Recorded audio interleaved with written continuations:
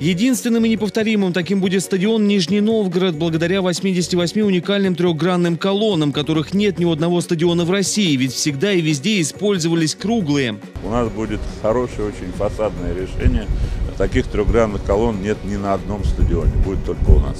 И те решения, которые мы вот приняли, сейчас они готовятся для утверждения по самому фасаду, сделать его прекрасным э, стадионом. И когда наши э, нижегородцы, зрители, спортсмены будут приходить сюда, будем все радоваться, что мы в новом современном стадионе. Безусловно, идеально ровные трехгранные колонны – отличное архитектурное решение, однако конструкции примут на себя и функциональную нагрузку. Эти колонны, они участвуют в работе всей металл, металлоконструкции покрытия нашего основного, то есть, ну, по-русски говоря, крыши.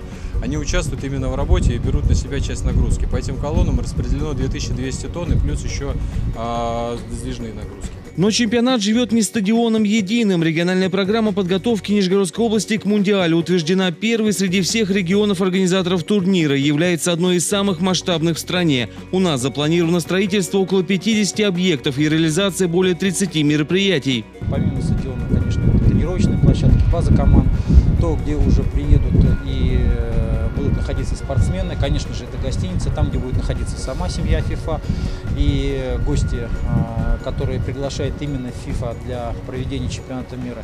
И, конечно же, это аэропорт, инфраструктура, все, что уже будет задействовать передвижению э, гостей, болельщиков, которые будут находиться уже в городе. Вот это основные сейчас э, вещи. Здесь мы никаких рисков не видим. Нижегородцы уже сейчас представляют, как будет выглядеть стадион, и внешний вид арены их впечатляет. Как не нравится? Как же не нравится? Нравится, очень нравится. Ну, хороший, красивый. Пока впечатляет, как быстро они его строят, как все-таки 24 часа работа происходит. Ну, так необычно. Ждем, что будет в 2018 -м.